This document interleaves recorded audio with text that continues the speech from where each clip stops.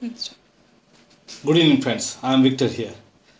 How to make a dispenser with waterproof with the box we have in our home. Let us go to that. Let us see how we can make this dispenser waterproof. So take a plastic pot which is lying in our house and make hole here, one hole here in the middle of that and make one hole here. Use a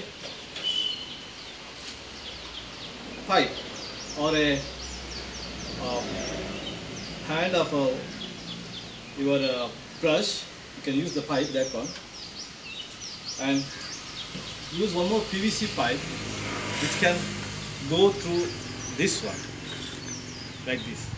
So fix the PVC pipe in this in this hole. Put a rivet and fix it. Then you can put your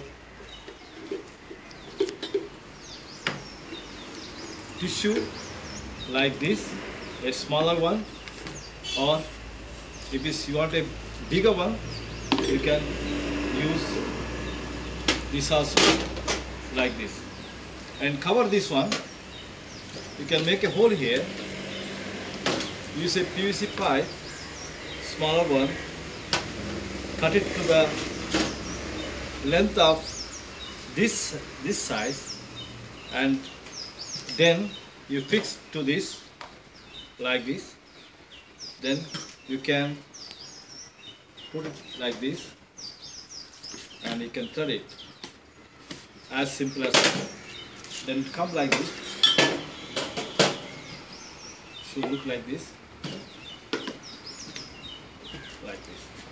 And cut a cut it here somewhat one centimeter from top to the bottom and you bring out the tissue from this side to fix the to the wall okay once again you use old brush pipes cut it to the length make it bend fix like this make this side flat and this side flat make two holes put nails to the wall. Then your waterproof tissue dispenser ready. Thank you. Thank you very much. Live a life pleasing god. Thank you